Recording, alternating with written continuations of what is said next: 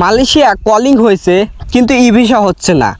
অথবা আবার কলিংও হয় নাই। তো এরকম অনেকেই অনেক সমস্যায় কিন্তু ভুগছেন। হ্যালো গাইস আসসালামু আলাইকুম, আমি টেক টাইম আপনাদের সাথে আছি মালয়েশিয়ার সুমো বাজার। সর্বশেষ যে তথ্যটা আছে আমার কাছে, সেটা হচ্ছে মালয়েশিয়ার ই ভিসাটা কেন হচ্ছে না, এত দেরি হচ্ছে কেন? এছাড়াও কলিং পেপারও অনেকেরই হচ্ছে না। এবং সর্বশেষ কলিং এর মেয়াদ শেষ এবং ই ভিসার মেয়াদ শেষ কত দিনে সেই বিষয়ে বিস্তারিত আলোচনা করব এই ভিডিওতে। তো অবশ্যই পুরোপুরি ভিডিওটা মনোযোগ সহকারে দেখবেন, কারণ এই ভিডিওটা দেখার পর ই কলিং পেপার এবং ই ভিসা নিয়ে কোনো রকম সন্দেহ বা কোনো রকম সমস্যা আর থাকবে না। তো অবশ্যই পুরো ভিডিওটা দেখবেন। তো গাইস আমি সর্বপ্রথম আপনাদেরকে একটু জানিয়ে দিই যে মালয়েশিয়াতে ই ভিসা, এটা দেরি হচ্ছে কেন? আপনাদের অনেকের কিন্তু কলিংও হয় না সেই বিষয়ে আমি ভিডিও দিয়েছি। তারপর আমি আপনাদেরকে বিস্তারিত সব কিছু আলোচনা করব। অবশ্যই এ টু জেড আপনার ভিডিওটা দেখবেন। আর চ্যানেলে যদি নতুন হয়ে থাকেন, এরকম নতুন নতুন মালয়েশিয়া আপডেট ভিডিওগুলো পাওয়ার জন্য অবশ্যই চ্যানেলটি সাবস্ক্রাইব করে পাশে থাকবেন। তো গাইস আপনারা কিন্তু অনেকেই জানেন বা জানেন না, মালয়েশিয়া যে এখন যে ই ভিসাটা আছে, এটা কিন্তু আপনাদের বাংলাদেশ যে এজেন্সি আগে কিন্তু তারা কি করতো, তারা আবেদন করে এই ই ভিসাটা কিন্তু তারা নিয়ে আসতো এবং সেইভাবে আপনাদের কিন্তু তারা মালয়েশিয়াতে পাঠাইতো এবং আপনাদের হাতে ই ভিসাটা দিত। এখন কিন্তু সেই নিয়মটা নেই। আমি সর্বশেষ তথ্য যা জানি আমি সেটা আপনাদেরকে বলে দেবো, কারণ আমি যেটুকু জেনেছি, শুনেছি, সেই বিষয়ে আপনাদেরকে ডিটেলস এখন খুলে বলব। তো আমি যখন জানলাম যে আপনাদের যে ই ভিসাটা, এটা কিন্তু সম্পূর্ণই আর বাংলাদেশ থেকে হয় না, এটা কিন্তু অনেকে জানতেন, অল্প অল্প অথবা জানেন না। তো আপনাদের আজকে আমি ক্লিয়ার করে জানিয়ে দিচ্ছি। তো এখন আপনাদের কি করে? ই ভিসাটা হচ্ছে মালয়েশিয়ার যে কোম্পানি আছে, তারা তারা নিজেরাই কিন্তু আবেদন করে, তাই ই ভিসার জন্য তার কোম্পানি নিজেই আবেদন করে, ঠিক আছে?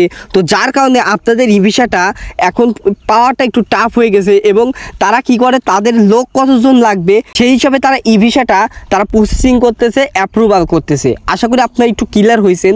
মানে এখন আর বাংলাদেশ এজেন্সি চাইলেও ই ভিসার জন্য আবেদন করে তারা নিয়ে আসতে পারবে না। এখন মালয়েশিয়া কোম্পানি নিজেই সেটা আবেদন করে এবং নিজেই সেই পদ্ধতিতে তারা ই ভিসার আবেদন করতেছে। এটা হওয়ার কারণ কি সেটা আমি বলতেছি।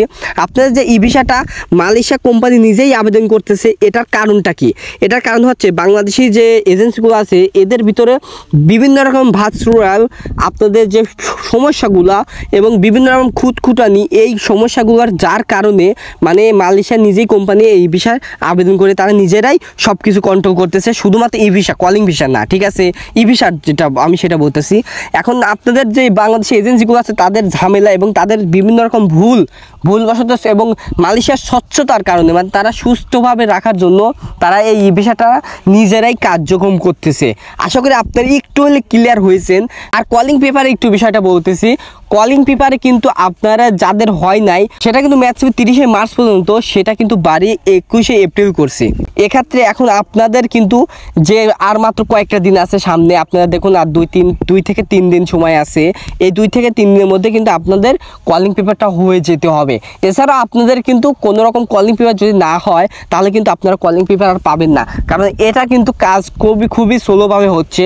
আমার জানা মতে আপনাদের কলিং পেপার এখনও যাদের হয় নাই, আমার বিশ্বাস আপনারা কলিং পেপার পাবেন না। যাদের কলিং পেপার হয়েছে, ই ভিসা হয় নাই, তাদের কিন্তু সর্বশেষ যে ডেটটা আছে তাদের সর্বশেষ যে ডেটটা আছে সেটা কিন্তু আপনাদের যে কলিং পেপারের সর্বশেষ ডেটটা সেটা হচ্ছে একুশে এপ্রিল এবং ই ভিসা সর্বশেষ ডেট সেটা হচ্ছে সতেরোই মে।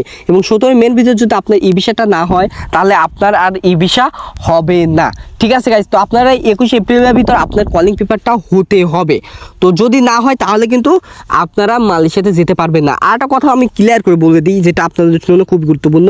আপনাদের যে অ্যাপ্রুভালগুলা আগের অ্যাপ্রুভাল মানে পুরনো যে অ্যাপ্রুভাল আছে মানে নতুন না, পুরাতন যে অ্যাপ্রুভাল আছে, সেই অ্যাপ্রুভালে যারা পাসপোর্ট লাগিয়েছেন এজেন্সির কাছে, তো তাদের যদি একুশে এপ্রিলের ভিতরে এই কলিং পেপার না হয়, তাহলে আপনাদের কলিং পেপার হবে না এবং ই ভিসা সতেরো মের ভিতর না হলে হবে না এবং আপনারা যাওয়ার শেষ সময় আগেও বলছি, এখনও বলতেছি, একুশ, একত্রিশে মে দু হাজার চব্বিশ, জুনের আগে, ঠিক আছে? তো আপনাদের একত্রিশে মের ভিতর মানে মে মাসের ভিতরে আপনারা যদি না যান, তাহলে আপনারা জুন মাসের পর থেকে আপনাদের সব কিছু বাতিল হয়ে যাবে।